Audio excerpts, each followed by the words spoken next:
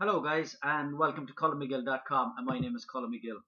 Um, the post I have for you today actually guys is can local businesses blog uh, or can local business owners blog? And of course they can there's no doubt about it. But I think the problem is many local business owners worry about what they can blog about. And I'll just give you a simple example. I was actually speaking to a local business owner the other day and that's exactly what they said to me is but sure what could I blog about? And I turned around and I asked them a simple question. I said uh, what do you know about your business and industry? And they looked at me and uh, quite seriously said, um, what I don't know about the, this business or industry isn't worth knowing. So obviously I was smiling at them and saying, well, there's your answer. You have plenty to blog about and write about.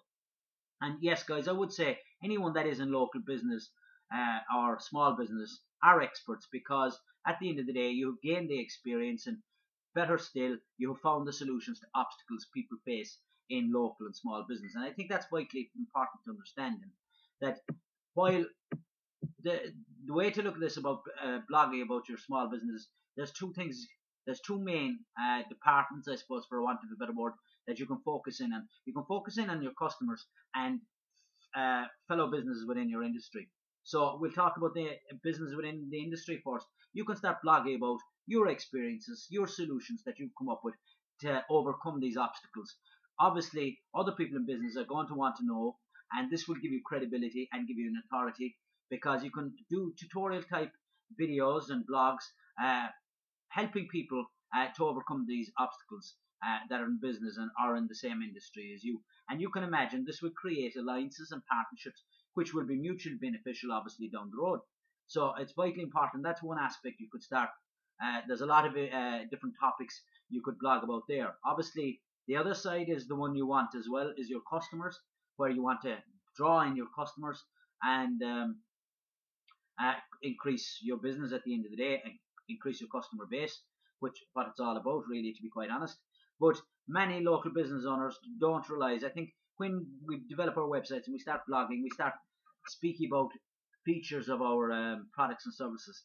The problem with features is, especially in some products and services, it's just too technical and it makes no sense uh, to our potential customers, and they can't relate really to that uh, to these features. In comparison, if you focus on benefits and what value you can add to them, it makes a big difference, guys. Because uh, if you just see our own buying behavior, we're all the time looking for the benefits of that product and service on our on our life, what it will do to different aspects or different uh, things we need. What are the benefits uh, to us by purchasing this product or service?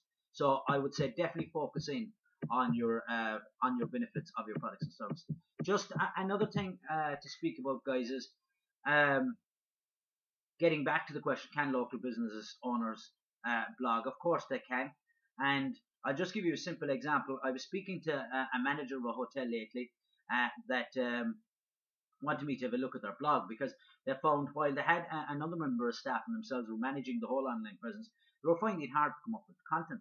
And actually, this particular hotel owner was located in London and a, and a, a very uh, cool location in London. I actually lived there in Camden Town myself. And while they were looking, uh, while I looked at their blog, it was a fantastic blog. But the thing was, they were looking very much inwardly and they weren't highlighting the actual location and what, uh, the, the location and the other businesses around them. Because at the end of the day, while you are a hotel, uh, many other hotels have the same facilities uh, as you are, has the same ratings you have to show uh, the customer or the potential customer the benefits of how uh, beneficial to them it's by staying with you, not only enjoying the great facilities, but in enjoying the surrounding area. Because uh, that particular location obviously has fantastic bars, music venues, um, restaurants. There's a, a, great little food court there. There's a great market there. Uh, so obviously, and there's great uh, clothes shops.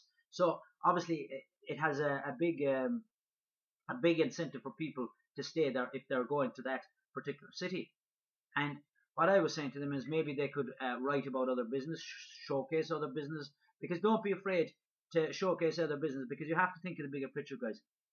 It's all about showing the customer the benefit for that scenario of staying in your hotel, what the surrounding area offers. Equally, it had great transport links to all the rest of London, which also is a big is a big um, a big incentive for tourists when you know yourself when you're going to a location, you want to be able to go to other locations quite easily from there. and that was being left that particular location is because too many businesses we're all guilty of it. We look to we focus too much inwardly on what we offer. Think outside the box a bit guys. You have to think about benefits.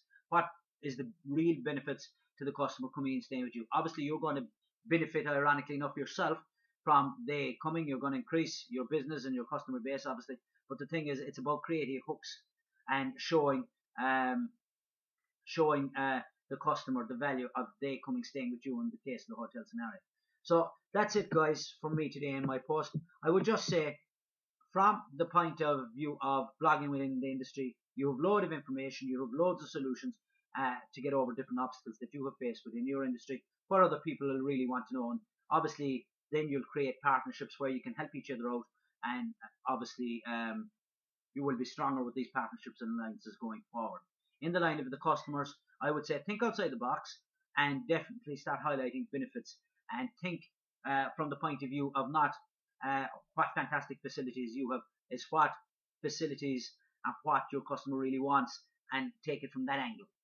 I think start writing from the mind of, of your customers is the way to go. So that's it, guys. I hope that answers can uh, small and local business blog. Uh, definitely, I would say, uh, no doubt about it. And all I would say is start uh, start getting out there and start creating the content. Uh, if you are any on any of the other platforms outside of my blog, there will be a link underneath to colmmcgill.com and it will take you directly uh, to see other posts of this nature. So again, I would like to say thank you for visiting me at colmmcgill.com and I hope to see you in the next post. Actually, in regards to the next post, what I'm going to do is I'll put up a post on how to uh, tips on blogging for local business. So that's it, guys. Uh, thanks again, and I hope to see you in the next post.